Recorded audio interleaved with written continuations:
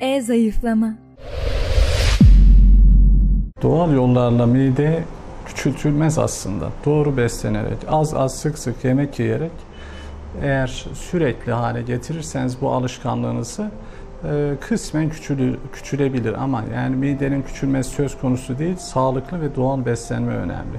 Yoksa herhangi bir yöntemle mide küçülmez. Ancak yapılan operasyonlarla mide küçülebilir. Onlar da çok sağlıklı değil. E, medyada örneklerini görüyorsunuz zaten. Bir sürü e, kalp krizi geçiren, bir sürü ölen, e, bir sürü e, yan etkileri görülen çok hasta var. Onun dışında en doğrusu sağlıklı ve doğal beslendiğiniz zaman mideniz kısmen küçülebilir.